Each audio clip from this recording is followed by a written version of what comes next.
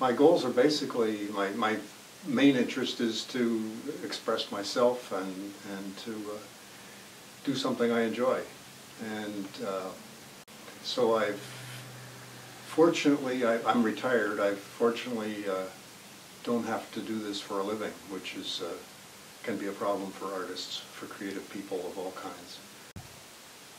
I uh, grew up as a, out in the woods, doing a lot of camping and with family and hiking and and I really feel very comfortable in the outs- outdoors, woods and fields.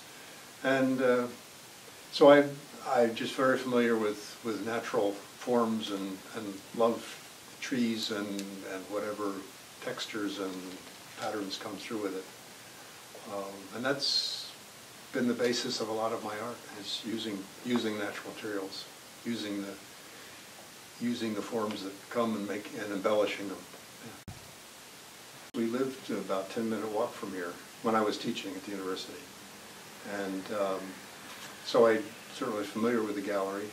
And then uh, came through a, a wonderful artist friend, uh, Arlene Abend, who lives near here, who's a good friend of Cheryl. I had given her one of my wooden books, as you'll as you see that I work on, and she uh, recommended to Cheryl that I should maybe do a whole show here. Somehow people connect with it, and they've uh, they've been very uh, very supportive.